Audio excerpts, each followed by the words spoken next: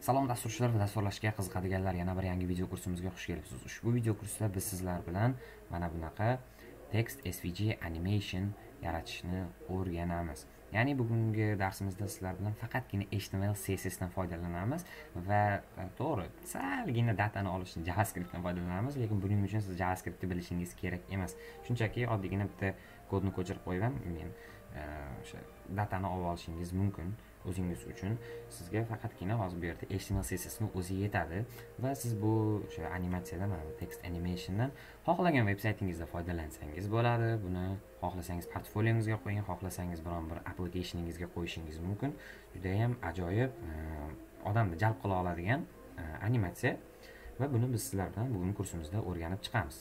Videoni boshlashdan oldin kanalimizga a'zo bo'ling videomizga layk bosing hamda Э, video oxirida agar izohlaringiz yoki takliflaringiz savollaringiz bo'lsa kommentariyada qoldiring va jonidil men unga javob beraman. Demak darsimizni boshladik.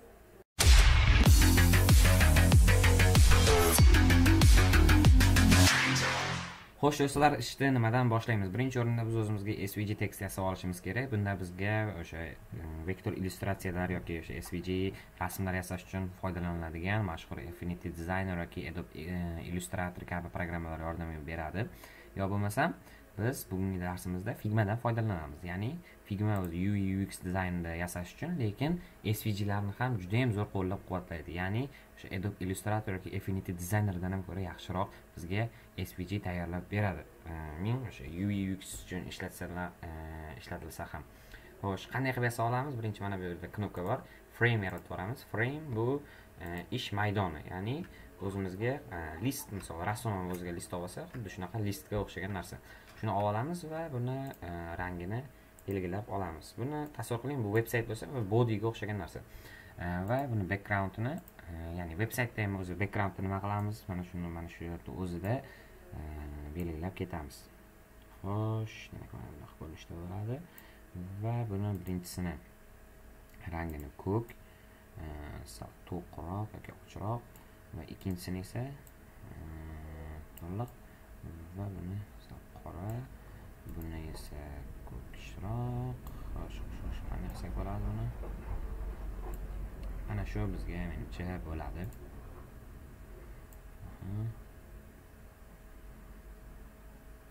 Judayam yaxshi bo'ldi. Endi bizga tekst kerak bo'ladi ya'ni oddiy mana bu tekstni belgilab shuni tekst yozsak bo'ladi. Xohlagan so'zingizni yozsangiz bo'ladi veb saytingizga qanaqa e, ko'rinishda misol ishlatmoqchi bo'lsangiz. E, misol men bugun dasturchi degan so'zni ishlataman. Dasturchi hamda buni o'rtaga qo'yib olamiz va e, shrift o'zi poppinsdan foydalanmoqchi edim o'zi turibdi degan tegmaymiz. Mana shu poppins bo'ladi. Xohlagan misol shriftingizni mana bu yerdan tanlab yozishingiz mumkin. Portrait mana. Lekin poppins shu animatsiyaga yaxshiroq tushadi. Va bo'ldi. Biz belgilab olganimizdan keyin shriftlar joyida tekstlarni orasini sal ochamiz menimcha. Qancha hmm, sakkiz yoki o'n yetadi mana. Bo'ldi hammasi yaxshi. Endi biz buni qarang svg ga aylantirib olishimiz kerak. Svg ga o'zi aylanadi faqat bu qanaqa?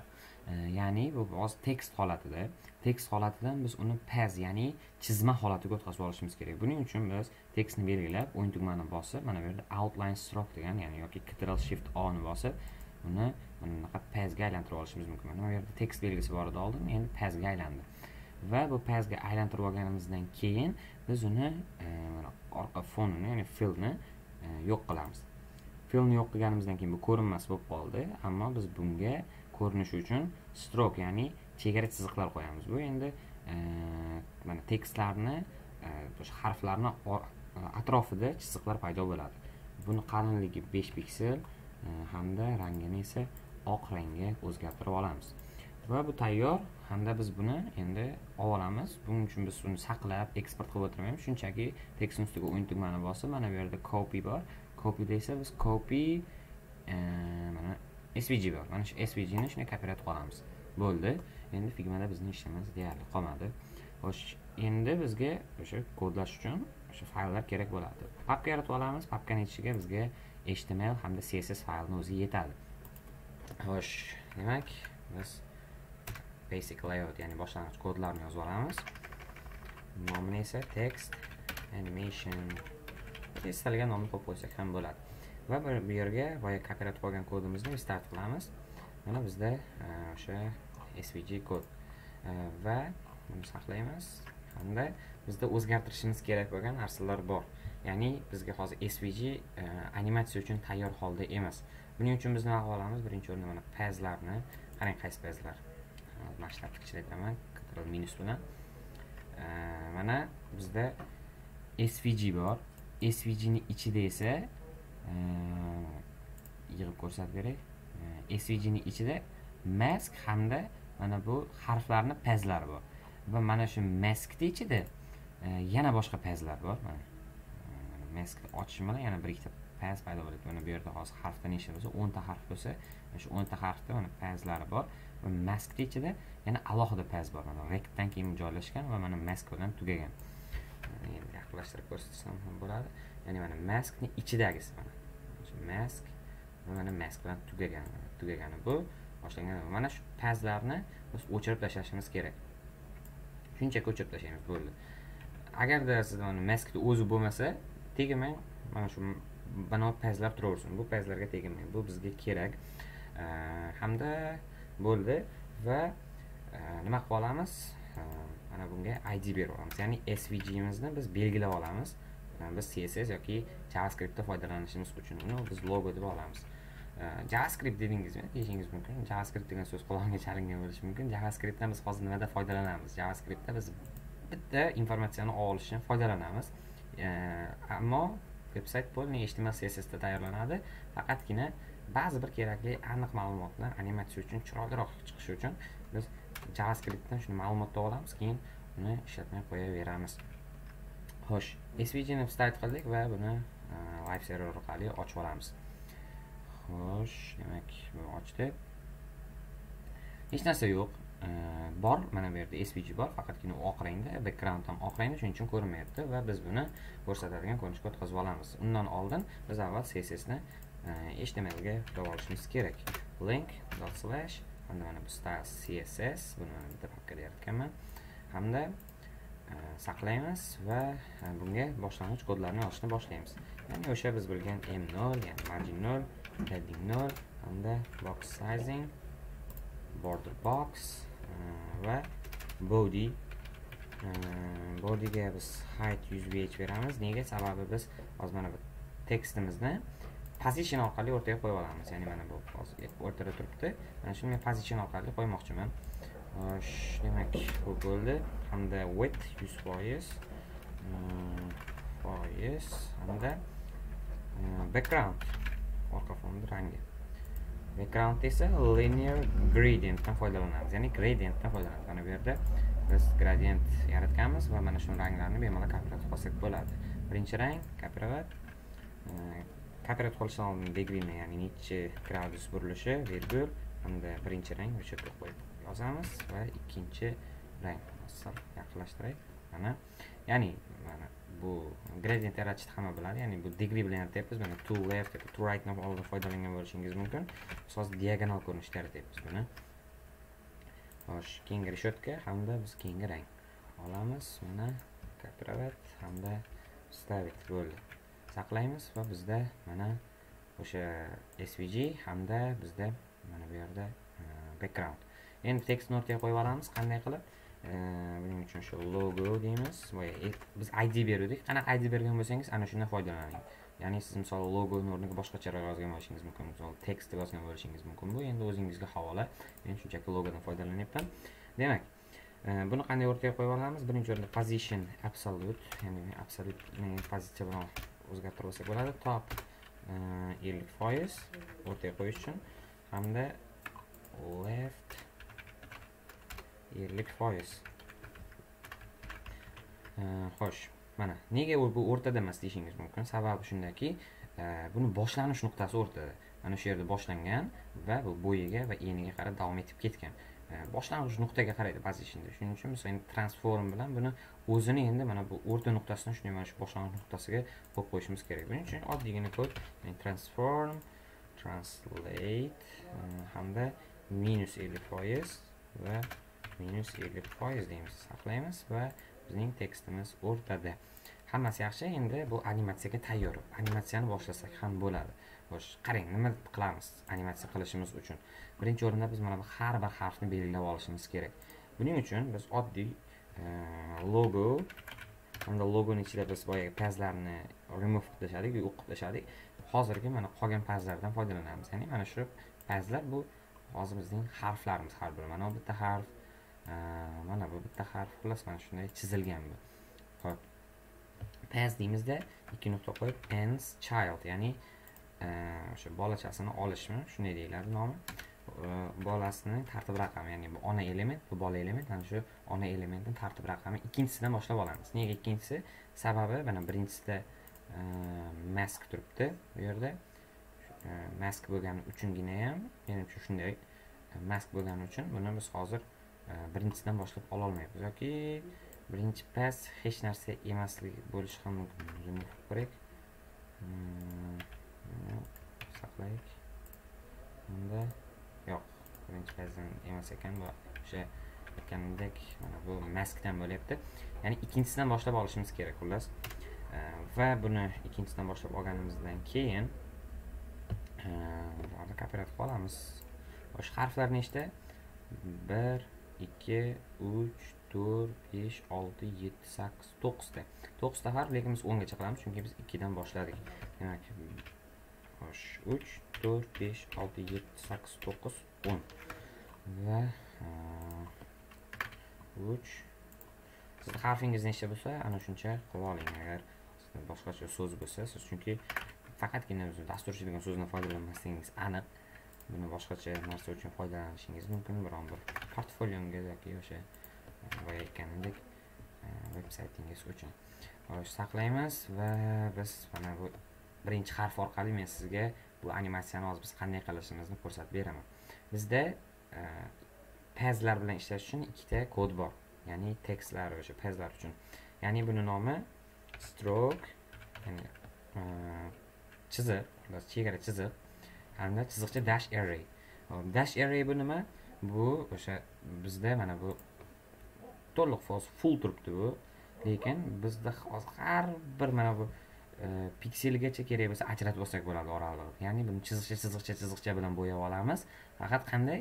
Ya'ni bu e, masalan o'sha chiziqchalarni o'lchami buni qanchadir ham deb belgilab olishimiz kerak. Lekin undan oldin men qilmoqchi bo'lgan ish mana bu hozir juda yam qalin turibdi. Tekst lekin biz buni chizganimiz yuqoriroq chizgan edik. Bu endi e, svgni konvert qilib olayotganimizda bo'lgan muammo. Buni qanday bartaraf etsak bo'ladi? E, mana buni o'chirib turaylik. Boshlang'ich kodni yozamiz. Ya'ni qanday? E, stroke width ya'ni qalinligi stroke width. Besh piksellik ko'ramiz aniqlaymiz unda mana besh pikselga o'zgardi. Unda buni qolganlariga ham biz tartib chiqamiz control c. We. We. We. Control v.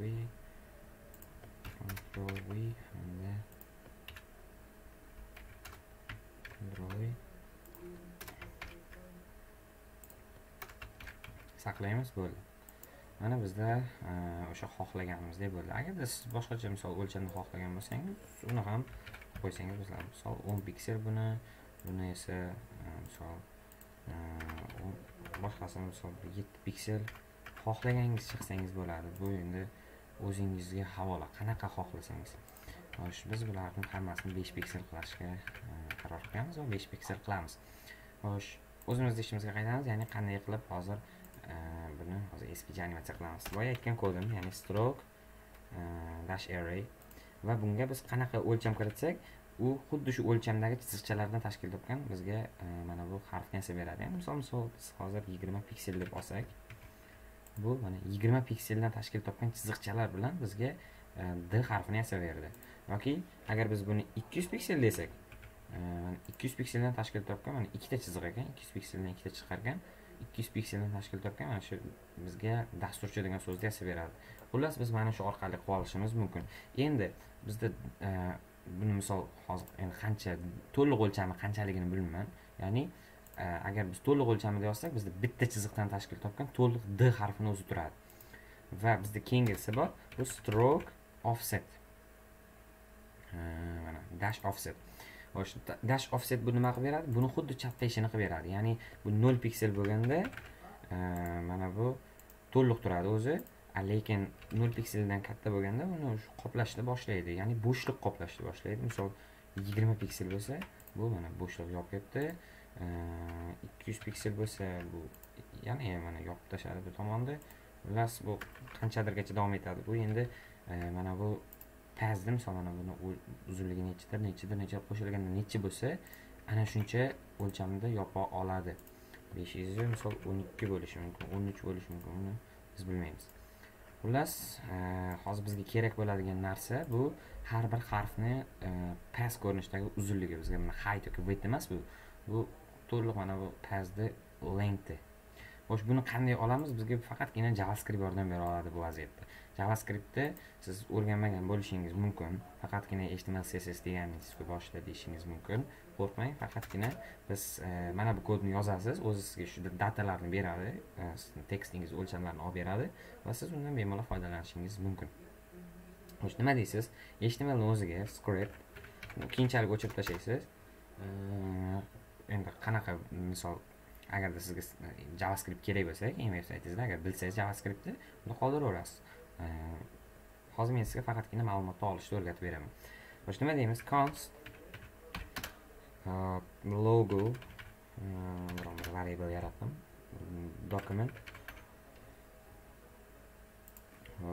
Biz hozir e, mana bu svg ni pazlarini array qilib olishimiz kerak. Ya'ni o'sha query selector all bilan olamiz. Ya'ni agar hozir bu gaplarimni tushunmayotgan bo'lsangiz demak siz javascriptni bilmaysiz. Э, qo'rqmang shunchaki mana shu kodni ko'chiring bo'ldi yozayotgan kodimni. Javascriptni agar bilsangiz mana buni bemalol eshitib e, o'rganib olishingiz mumkin. Xo'sh logo paz ya'ni har bir mana bu pazlarni biz array orqali query selector all orqali olyapmiz. Hamda for hamda for bu loop. E, va biz let deymiz. E, И endi mana shu loopni ishlatish degan nuqtasi bu sharti shart kirityapmiz. Hamda agarda noldan katta bo'lsa logodagi logoni uzunligi logo hozir array ya'ni mana bu pas pas pas turibdi console log deb olsak misol console log log logo desak bizda hozir mana array chiqib keladi f12 konsolda hozir bizda eh, array bor. Array ichida esa bizda mana bir nechta o'sha eh, pezlar bor. Mana shu pezlarni biz hozir eh, birinchisi ikkinchisi uchinchisi to'rtinchisi va hokazo. Mana shularni bemalol uzunligini hozir olib chiqishimiz kerak. Xo'sh nima qilamiz boyagi mana shu forimiz start qildim. Hamda for each bilan ham olsangiz bo'ladi. Endi o'zingiz bilasiz yoki map bilan. Xullas nima qilamiz? Bu endi javascriptni endi biladiganlar ham bo'lishi mumkin shuning uchun fordan foydalanyapman. Hop i plyus plyus e, deymiz va ya'ni hozir bu nima? E, mana uzunligidan katta e, mana bu uzunligi logoni uzunligi noldan katta bo'lsa i'ni qo'shaver bo'ldi. Katta bo'lmasa bu for tugaydi hop console log. Bizga qanaqa ma'lumot bersinki qarang. Curly e, qarang backtickslar ya'ni bu qo'sh tirnoqda biz mana bu dollar sign curly bracketsdan foydalansak bo'ladi. Bu e, tekstni ichiga qo'shimcha e, nima deydi biron bir data kiritishni tashqaridan data kiritishga osonroq letter deyman oddiy tilda ya'ni harf deb qolik harf yoki iyinchi harf mana i inchi harfning harfning uzunligi uzunligi hop qanaqa bo'ladi uni uzunligi? Yana dollar curly brackets va qanaqa? Hop bu logo logo array va o'shani inchi qiymati arrayni mana shuni yozsak bo'ladi? Nuqta qo'yamiz mana bu funksiyani yozamiz. Ya'ni get bu funksiyani endi javascript biladiganlar ham bilmasa kerak. Get total length. Length. Bo'ldi va bu funksiya shuning uchun biz bunga run funksiyasini mana e bu uh, call qilamiz ya'ni e bu funksiyani ishlatamiz mana shu joyda get total length. Mm, Bo'ldi xato yozmadim menimcha va saqlaymiz hamda biz ko'ramiz nima chiqdi bizda mm, hop type error cannot read property get total length. O'qiyolmadim deyapti lekin o'qigan albatta. Buni hozir yopib tursak ham bo'ladi va bizda nol bir ikki uch to'rt besh olti yetti sakkiz noldan boshlab ko'rsatyapman to'qqizta harf hamda noldan boshlab ko'rsatgani uchun biz mana sakkiz bilan tugayapti lekin to'qqizta harf chunki noldan boshlab ko'rsatyapti. Ho'p mana bu uzunliklarni mana bizga beryapti ya'ni nolinchi harfni uzunligi besh yuz to'qson besh birinchi harfni uzunligi besh yuz o'n mana shunaqa bo'ldi. Endi mana sessizni ishiga qaytamiz. Xo'sh bizda hozir bu yerda nima qilamiz? Ishimiz nima bo'ladi? Mana buni bunday ochib turaylik hozircha. Ho'p e, biz mana bu stroke dash arrayni uzunligini mana bu nollinchi bo'lsa hozir mana bu ikkinchiga tegishli bo'lyapti. E, besh yuz to'qson besh deymiz. Mana bu e, aniq uzunligida yozishingiz shart emas besh yuz to'qson besh deymiz. Bitta ko'paytirib qo'yamizmi? Yoki aniq usulligida yozsak bo'ladi. Chunki javascript doimo aniq ishlamaydi shuning uchun 595 deb ketsangiz ham bo'ladi. 595 timoli va animatsiya shu mana buni kopirab qolamanda hamda o'zgartirib o'zgartirib ketaveramiz. E, hop ikkinchisiniki nechi 510 510 deymiz. 510 hamda hozir sizga keyin buni tushuntirib beraman nima ekanligini. 510 ga 510 514 ga besh yuz o'n to'rtga besh yuz o'n to'rt ko'chirib chiqasiz. Mana shu datalarga qaragan ikkinchisiniki nechi bo'lsa ikki e, o'sha to'rtga yozasiz. E, shunday ketaveradi. Besh yuz o'n to'rtdan keyin bizga kerak uch yuz ellik. Hop. uch yuz ellik piksel. E, va buniki besh yuz to'rt. E startlayapmiz besh yuz to'rt va besh yuz to'rt hamda yana ikkita qoldimi nechta biram qoldi bizga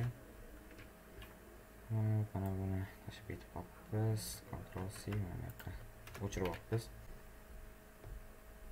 mana shu davom etamiz mana bu yerda besh dan to'qson beshdan keyin kopirlatib qolamiz demak kopировать hamda ставить hamda besh yuz to'qson beshdan keyin biza e, o'zi to'qson besh degani yo'qku besh yuz yetmish bir ekan adashib ketdik besh yuz yetmish bir besh yuz yetmish bir mana besh yuz to'rt besh yuz yetmish bir hamda besh yuz yigirma to'qqiz besh yuz yigirma to'qqiz hamda oxirgi ikkitamiz islatib qolib o'zgartirib tashlaymiz besh yuz yigirma to'qqizdan keyin besh yuz ellik olti va besh yuz ellik olti hamda bu ikki yuz o'ttiz olti ikki yuz o'ttiz olti ya'ni i harfi judayam kichkina shuning uchun ikki yuz o'ttiz olti turibdi uzunligi ikki yuz o'ttiz olti bo'ldi saqlaymiz va ko'rib turganingizdek bu yerda mana bu nuqtachalardan boshqa hech narsa qolmadi. Bu nuqtachalar nega? Chunki biz hozir bu yerda aniq kiritmadik. Shunchaki yaxlitlab tashlab kiritdik. Bu animatsiyada bilinmay ketadi. Shuning uchun buni aniq kiritishingiz shart emas. Buni yopaversak ham bo'ladi va men sizga endi hozir nima yozganimizni ko'rsatib beraman.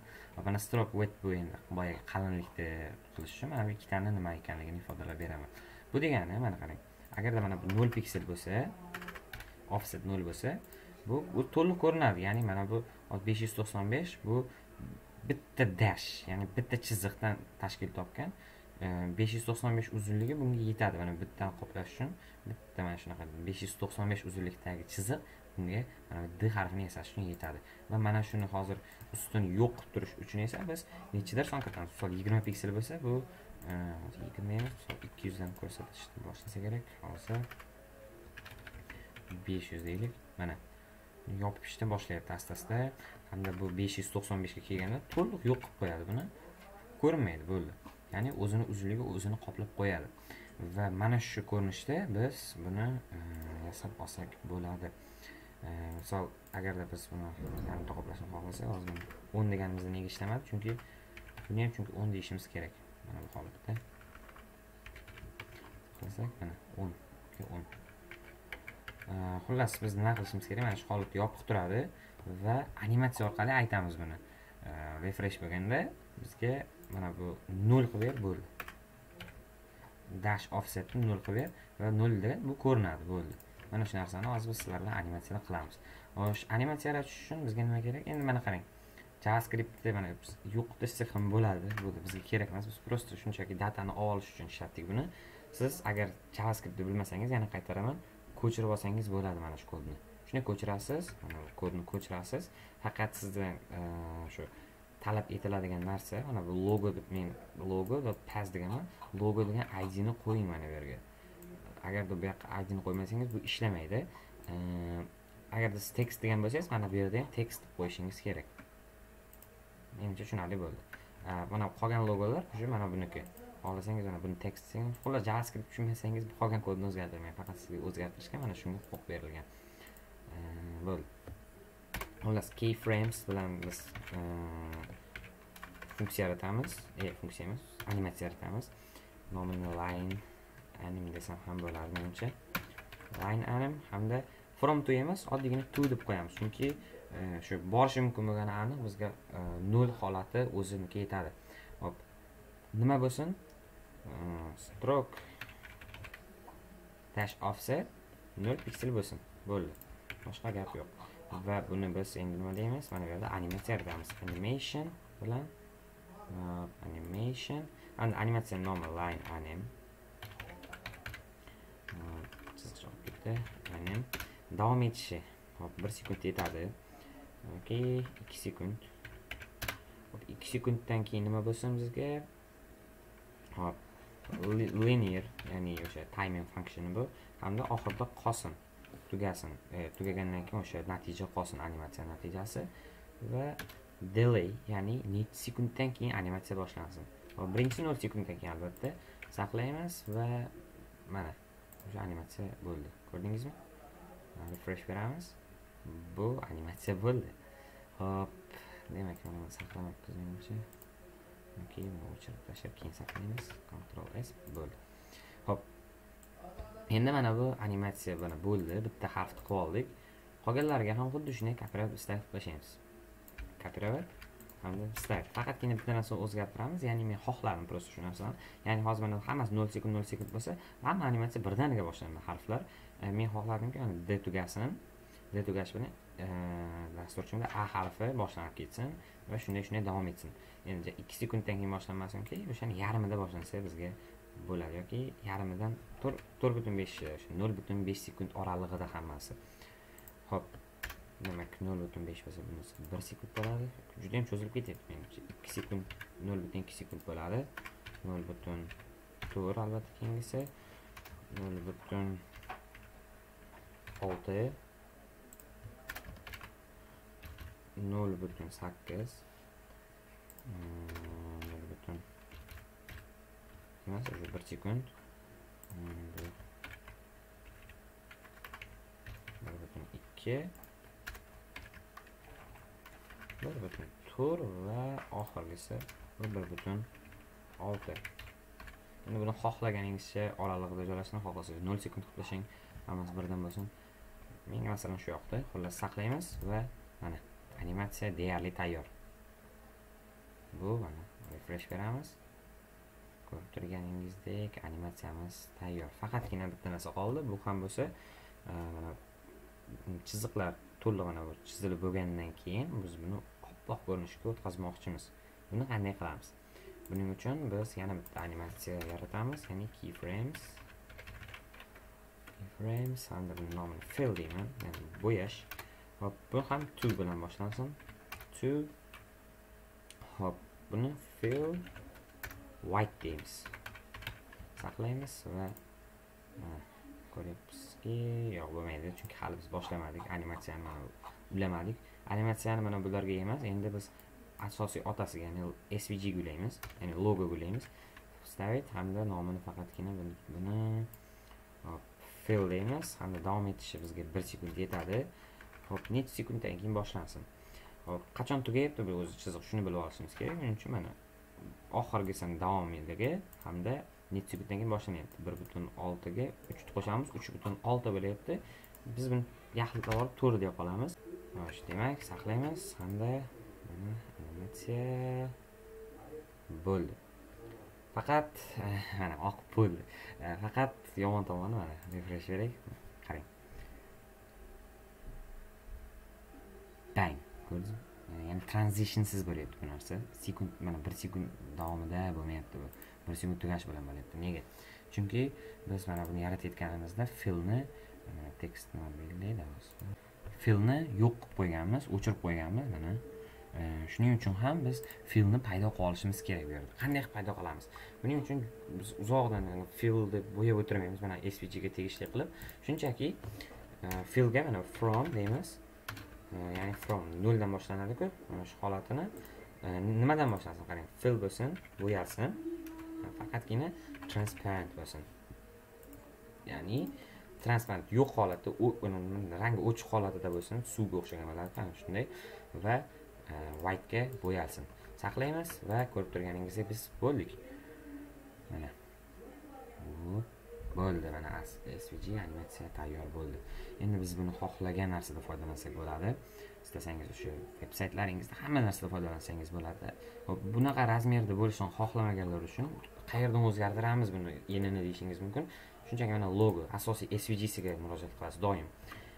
Mana svgmi misol wet e, yigirma rem bo'lsa mana sal kichikroq bo'ladi va o'sha animatsiya buzilmay ishlayveradi bo'ldi. Xohlaganingizcha qanaqa rasm qanaqa bo'lsa ana shunday foydalanaverasiz bu svgimizdan ho'p demak bugungi darsimiz o'z nihoyasiga yetdi. Sizlar bilan mana shunaqa tekst e, animation svg animationni o'rganib chiqdik. E, kanalimizga obuna bo'ling videomizga layk bosing hamda kommentariyada izoh yoki takliflaringiz bo'lsa qoldiring. Keyingi video kurslarimizda ko'rishguncha xayr salomat bo'ling.